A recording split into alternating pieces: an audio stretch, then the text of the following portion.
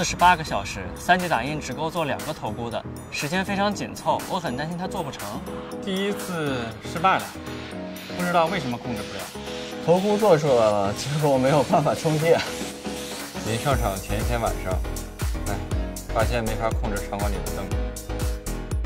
这算是个新的尝试吧。极短时间内，我们想要做出一个能够识别脑电信号并执行对应指令的设备。通过它，人们可以更加便捷地控制智能家居。那就是这个小东西。我们在设备上设置了三个点位来获取电信号，点位之间的电势差可以让我们大致的读取脑电情况。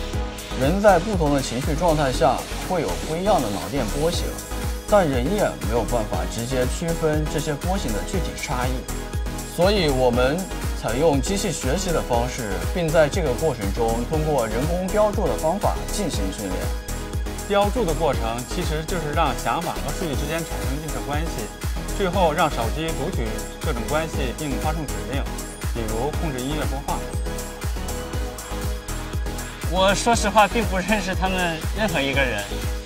作为队长，其实我一开始也不知道该找谁，能找到谁。但是在群里发布自己的想法后，就会有一些感兴趣的人主动联系你，推荐他认识的专家，并且帮你提供建议。小米就是这样一个地方，不怕找不到跟你一起成就一个想法的人。今年呢，是我们第二次参加黑客马拉松。去年我们团队的作品是通过手机控制智能电梯，借此关注残障人士的出行。今年呢，我们就一直在思考，我们和机器之间。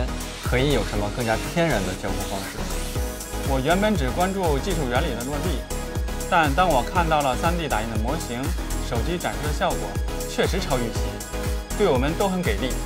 头箍做出来还不错，脑电信号能读取，设备也能控制，关键是戴上去还舒服，非常开心。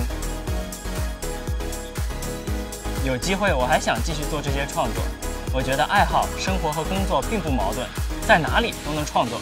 未来我们也会从其他维度进行突破，在小米不会有人嫌你想法太多，为更多人想得更远一点。技术是向前走，我们是向前跑。小米头箍这个作品确实脑洞大开，很酷。这是在四十八小时内完成的，令人印象深刻。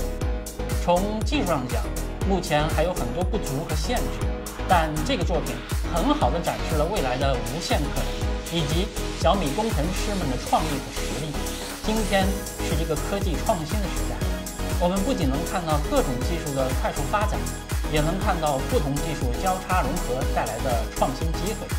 通过这个马拉松这样的比赛，我们希望传承和发扬小米的工程师文化，让硬件、软件、人工智能等不同领域的工程师面向未来大胆创新，探索更美好的生活。